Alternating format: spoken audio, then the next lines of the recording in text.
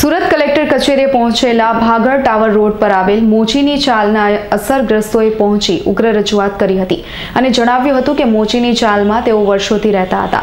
રહેણાંક, મકાન અને દુકાન ધરાવી અલગ અલગ નોકરી, ધંધો, મજૂરી, વેપાર કરી લોકો પરિવારનું ગુજરાન ચલાવતા હતા. જોકે સુરત મહાનગરપાલિકા દ્વારા દસમી ડિસેમ્બરે મેટ્રો રેલ પ્રોજેક્ટના નામ પર પ્રશાસન દ્વારા રાતોરાત ડિમોલિશન કરી બેઘર કરી દેવાયા હતા જેને લઈને તેઓને વૈકલ્પિક વ્યવસ્થા કરી આપવામાં આવે તેવી માંગ કરાઈ હતી. મારું નામ ઇન્દિરાબેન રમેશભાઈ પંચાલ. તમે કઈ જગ્યાએ આવ્યા છો અને શું રજૂઆત છે? હું મોચીની ચાલીમાં ટાવર રોડ પર રહી છું. અને અમારી રજૂઆત એ છે કે આજે અમને ઘર વિખોણા કરી નાખ્યા. અમારું બધું લઈ લીધું છે.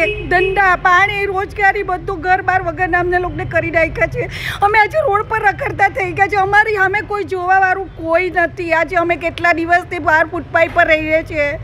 અમારી હાલત આવી કરી છે. હવે અમારે ક્યાં જવું? અમને ન્યાય આપો ન્યાય આપો. અમે ઘણી જગ્યા દરવાજા કકડાવ્યા અમારું કોઈ સાંભળતું નથી. હવે અમને કંઈક પણ રસ્તો કાઢી આપો.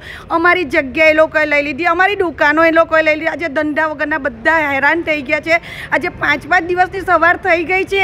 પણ અમારી સામે જોવાનું કોઈ નથી. હવે અમારી શું હાલત છે એ પણ નથી જોતા.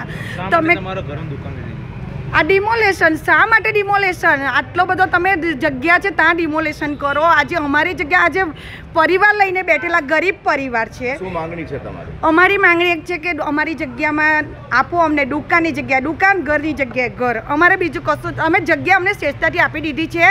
તો તમે હવે અત્યારે અમારી સામે જુઓ અત્યારે બધા રોડ પર રખડતા થઈ ગયા છે. અમે આગળ કંઈ પણ કારવારી કરીશું અમે આત્મવિલોપન કરવા પણ તૈયાર છે. અમારી પર બુલડેઝર ચલાવી દઉં.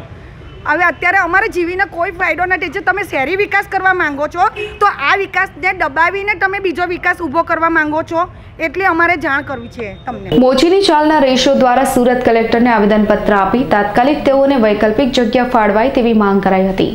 Bureau report S nine news Surat.